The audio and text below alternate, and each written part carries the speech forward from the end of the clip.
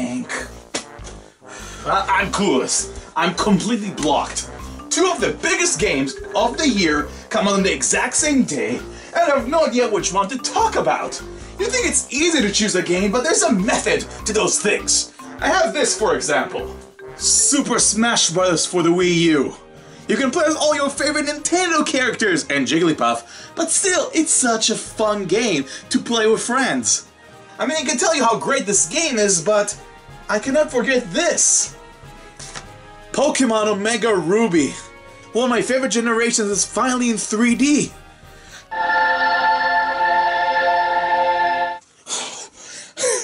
have no idea which I should pick. Should I choose Pokemon Omega Ruby or should I choose Super Smash Brothers? Or maybe should I choose Pokemon Smash Ruby or should I choose Super Poke Brothers? I have no idea which one I should pick. you know what? There's only one way that we can settle this. Have you ever wondered what would ever happen if we put Pokemon Omega Ruby and Super Smash Bros. for the Wii U in the microwave? Let's find out! One cooking session later. And what we get, ladies and gentlemen, is this. The result of a labor of love of developers that really care about their final... Son of a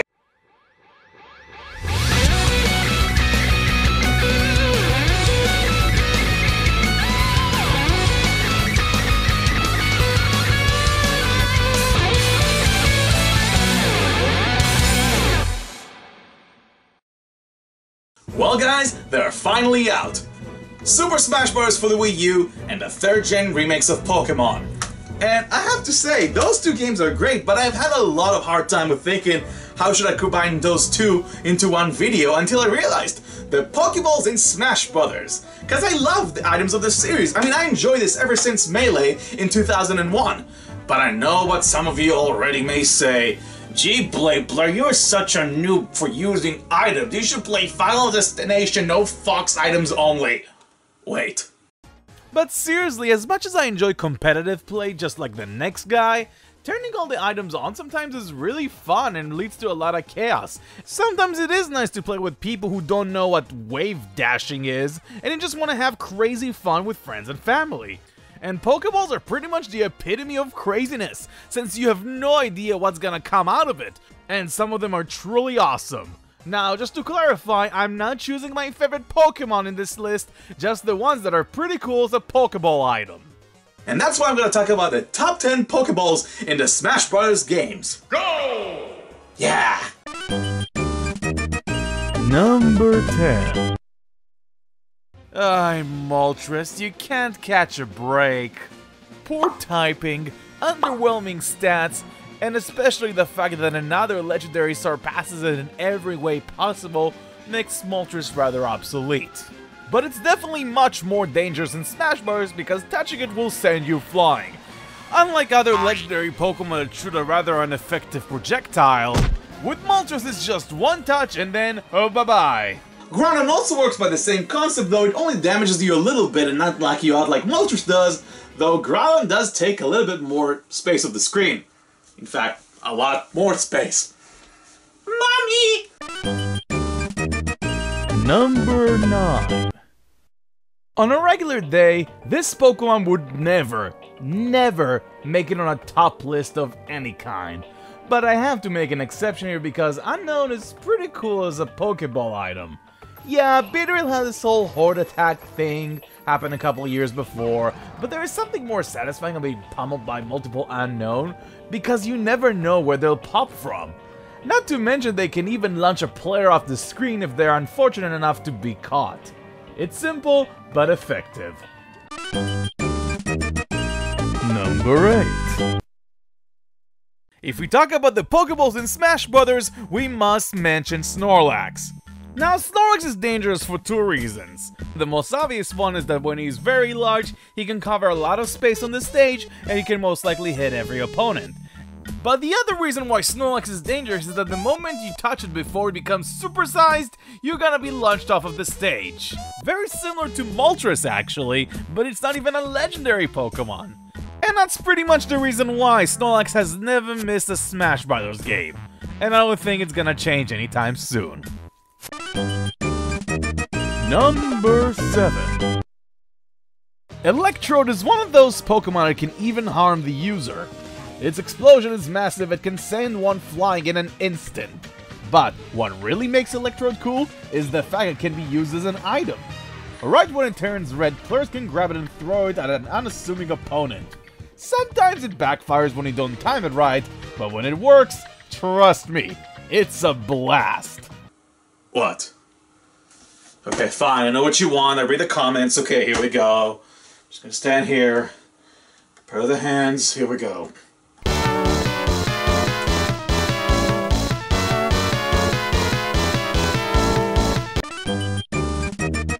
Number 6 I don't have many words to say about the attack of the Lati twins in the Smash Bros. game, but safe to say, it's awesome.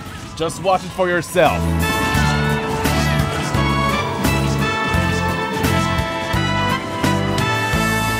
It reminds me of an old saying my great-great-grandfather used to say. Bitchin'. Number 5 there was ever a definition for a kamikaze Pokemon, that'll be Piplup. If you get trapped in its attack, prepare to go down alongside with it. Even if he sacrifices a life for your sake so you can have one extra KO at the end screen, he's gonna be there for you. Piplup, you're a trooper, and I salute you. Mostly because you're better than Oshawott. Number 4 While 97% of the Pokemon in Smash Bros. inflict damage, there are a couple Pokemon that actually do unique things, and my favorite one of them is absolutely Mew.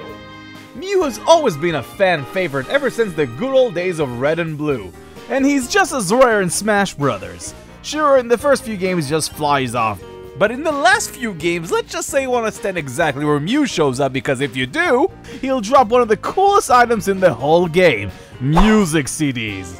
And they are awesome! It adds more music to an already amazing soundtrack, and how can you say no to that? No, I cannot do that. Mew is giving out more goodies, and really, isn't this the whole point of this time of the year? Did I just manage to shoehorn a Christmas message? Yes. Yes, I did. Merry Christmas, everyone! Number 3 For the first Pokemon that got announced before Generation 5 was a thing, I'm surprised Zoroark was never playable. But putting it in a Pokeball is definitely awesome. And why? His attack is freaking cool, that's why! Now, it may look similar to both Ike and Greninja's final smashes, but here's the thing. It isn't even a final smash! Zorg just attacked the nearest enemy and just starts barraging the opponent with tons of hits, and it looks so very satisfying. He doesn't send any opponents high flying, but come on! They even dimmed the lighting of the stage to set up the mood, that's so cool! Zoroark is awesome, and I cannot wait until it's playable in the next Smash Bros. game please. Number two! Okay, I know what you're gonna say. Why is Clefairy that high on the list? I mean, it's just like Togepi. It uses a metronome attack and something random happens on the screen. But fret not, dear viewers, because I'm referring to Clefairy in the N64 version of Smash Bros. All it essentially does is copy attacks of other Pokemon, but due to the fact that Clefairy is just a 2D sprite, like any other Pokeball Pokemon in that game, it's kind of hilarious to see all the crazy attacks, even though it doesn't even move an inch. And seriously? Nothing, and I mean nothing, beats a giant Clefairy falling from the sky. Clefairy can be anything, and it's pretty hilarious to take its shape of other Pokemon, and that's the reason why it's on the list. What? Number one! I want to choose Ho-Oh, I really do. Once again, it surpassed Moltres with having a much cooler attack. What with, you know, engulfing a huge chunk of the stage with flames. But you know what? There is another Pokemon that has a similar attack, just more condensed, and far more effective. And that's Entei. When Entei shows up, if you're unfortunate enough to stand next to it, prepare to be trapped in a fire spin.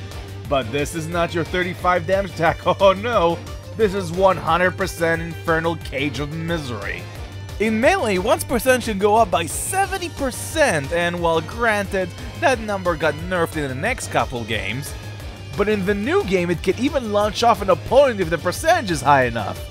While Entei will never be a Pokemon players will use in competitive play, at least it can have the honor of being number one on this list.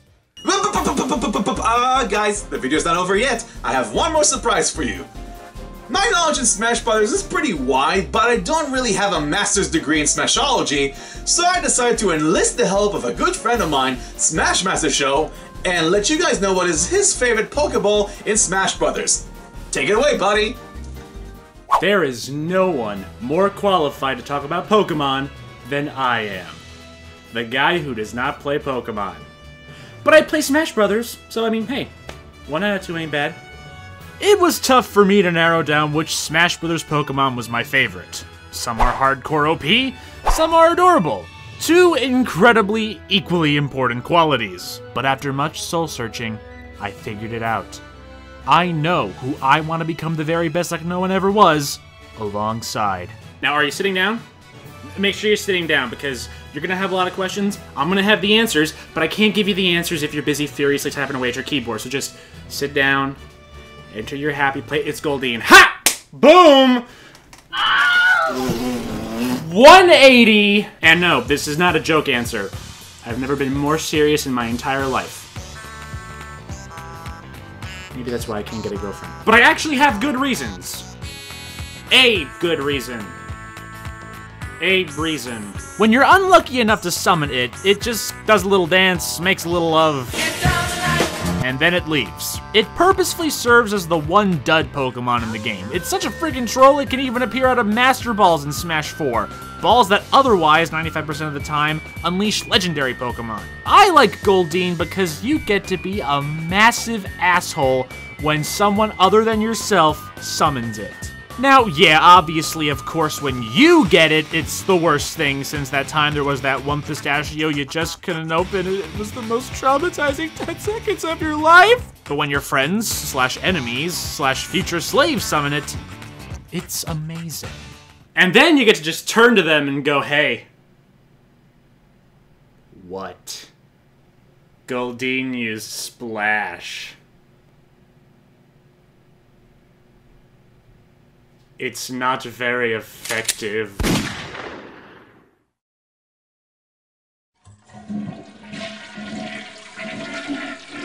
And that's why no one ever comes over to my house anymore.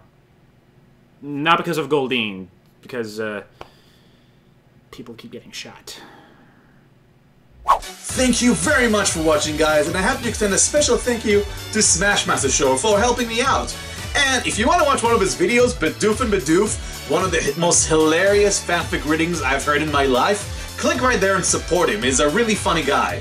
And of course, if you want to watch one of my other videos, Sonic 2 Game Gear Review, it's right there. Subscribe if you want to follow the rest of my content, and I do want to apologize for not releasing as many stuff as I can because I work full-time during retail in the holidays, and if you don't know the nightmares of Black Friday, it's real, so not in terms, you know, that I didn't survive. Obviously, I'm here, but I, it really makes me more fatigued than I would like to be.